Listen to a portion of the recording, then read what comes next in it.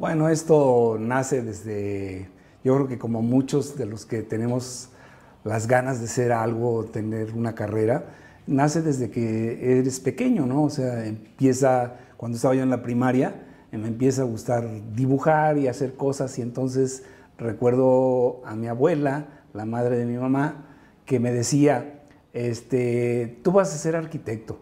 Y, le decía, sí, sí, me gusta mucho este asunto, ¿no? Entonces, bueno, me, empecé, me empezó a, a gustar desde ahí y bueno, eso fue y ya cuando llegué al a, estudiar ya mi licenciatura, pues bueno, sí, estaba yo decidido totalmente que yo quería ser arquitecto, ¿no? Entonces, bueno, así, así inicia este asunto. No es porque todos casi siempre decimos nuestra época fue la mejor, no, es, no es así, sí, simplemente creo que había aquello de, de mucha motivación por parte tanto de tus maestros como de uno mismo, o sea, porque había una competencia muy padre, yo lo recuerdo en los talleres, que siempre tratábamos de hacer lo mejor posible de nuestros proyectos. O sea, cuando nos ponían un proyecto, nos decían y de qué constaba. Entonces, siempre todos tratábamos de hacer las cosas mejor que el otro compañero, ¿no? O sea, tratábamos y entonces esa competencia era algo que nos motivaba muchísimo a poder hacer,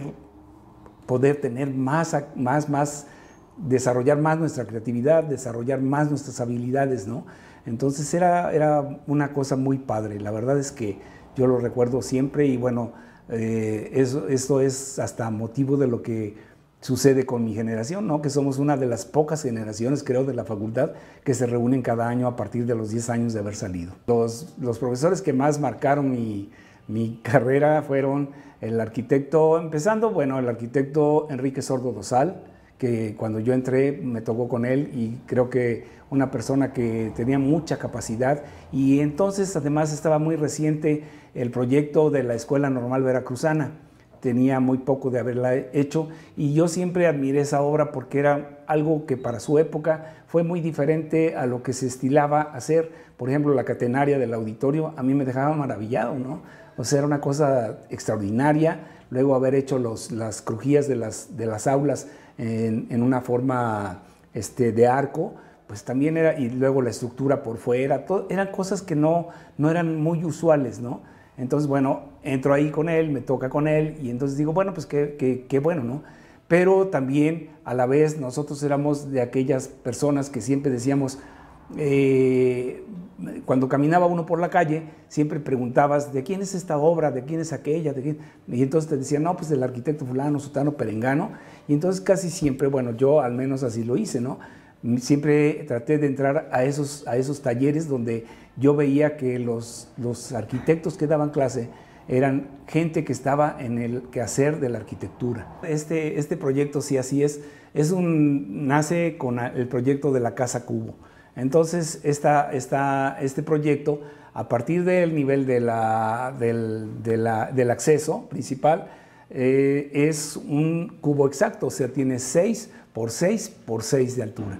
Entonces, ya a la hora de que yo ya tenía este proyecto que lo había hecho para otro terreno, pero después sucede que este, compro este terreno que tiene pendiente y entonces, bueno, pues por supuesto, nosotros lo que sabemos que debemos hacer es nosotros siempre lo hemos dicho a los alumnos, deben de adaptarse al terreno. Entonces, esto yo lo adapté al terreno, entonces por eso es que le aumenté una parte, un nivel más abajo para que pudiera estar adaptado al terreno y no se hiciera ningún relleno, ningunos, más que una sola contención es lo que tiene, ¿no? Entonces, bueno, así es como, como lo hice. Y luego, bueno, pues también todo está hecho en proporción, siempre lo que nosotros les enseñamos a los chicos, ¿no?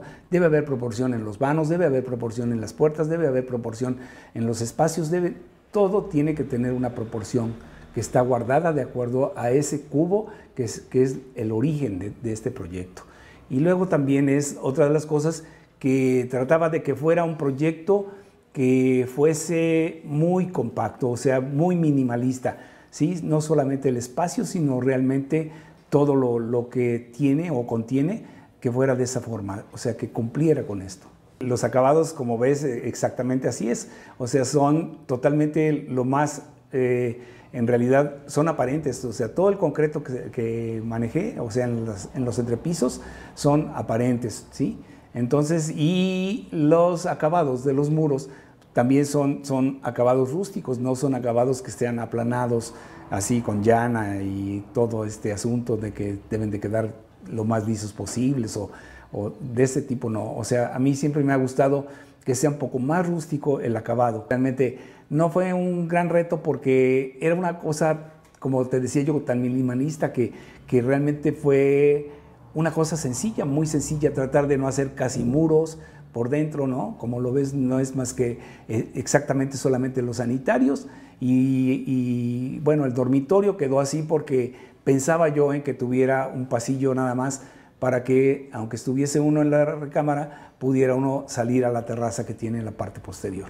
Pero en realidad es una cosa muy, muy sencilla, pero muy agradable, ¿no? Claro, eh, hay, hay, detalles que, yo tengo que siempre, por ejemplo, he admirado de, también de, Barragán, ¿no? Entonces, eso es, a excepción de sus colores, no los uso, solo uso el blanco, es lo, que realmente a mí me gusta mucho, el, todo en, en, tono blanco.